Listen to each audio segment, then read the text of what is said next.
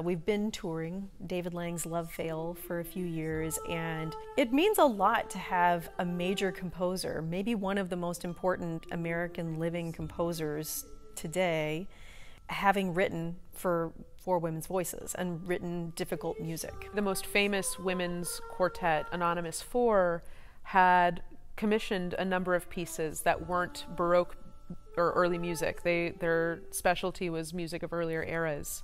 And that is not our specialty. Our specialty is music of today. And that this piece, David Lang's Love Fail, existed for them was wonderful for us. David Lang is the best.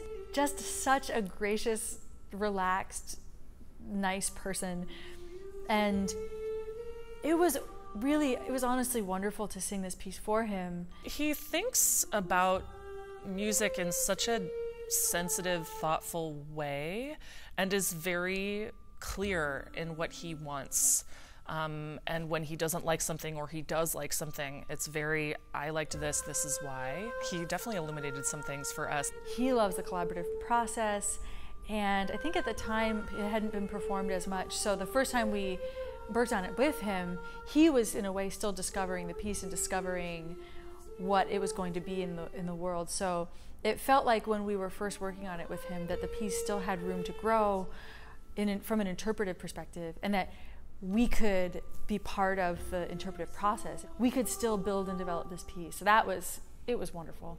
David Lang's very, very famous and a wonderful, top notch composer. So I'm, I'm very happy this piece exists for us.